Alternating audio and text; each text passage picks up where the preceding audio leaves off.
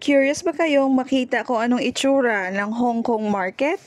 Well, for this video, samahan niyo akong i-tour. I-tour ko kayo dito sa Hong Kong market kung anong itsura ng market nila, kung gaano ka-fresh ang mga gulay at mga prutas na tinitinda nila.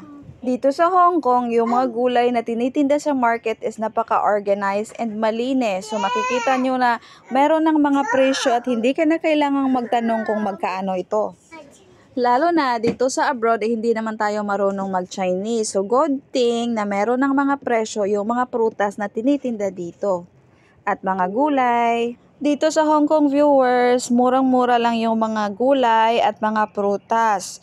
So kahit maliit lang yung sinasahod natin, afford pala natin kumain ng prutas anytime, anywhere. Hindi kagaya sa Pilipinas na medyo pricey talaga yung mga prutas. Minsan lang talaga tayo makakain pag may extra tayong money. Ang kagandahan nga pala sa market dito viewers is lahat ng mga tinitinda nilang gulay at prutas ay meron ng presyong nakalagay. So hindi mo na kailangan magtanong pa dahil nga hindi naman tayo marunong mag-Chinese. So napaka-easy yung transaction. Pag gusto mong bumili, magturo ka lang at babalutin na yun ng nagtitinda. At alam nyo ba, yung mga prutas dito, as in napakatamis talaga. Ibang-iba ang lasa sa mga prutas natin sa Pilipinas. Kaya naisip ko tuloy na yung mga prutas na napunta sa Pilipinas, eh, yun, yun ata yung mga reject ng ibang bansa. Kasi nga dito yung mga apple as in super tamis.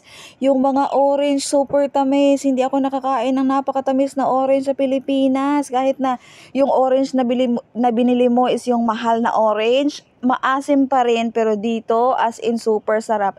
Lahat ng mga prutas nila napakatamis viewers. Merong mangilan-ngilan na hindi matamis pero kung i-count mo from 1 to 100, yung percentage na hindi matamis is 2% lang. 98% ng mga tinitinda nilang mga prutas dito as in matamis. Super. So kung makapunta kayong Hong Kong, subukan nyo para malaman nyo na as in nagsasabi talaga ako ng totoo. Pag nakinig ka hanggang dulo, thank you, thank you very much for watching my mini vlog. And hindi ka pa nakasubscribe sa aking channel, please don't forget to like and subscribe. Yun lang. Thank you very much, viewers.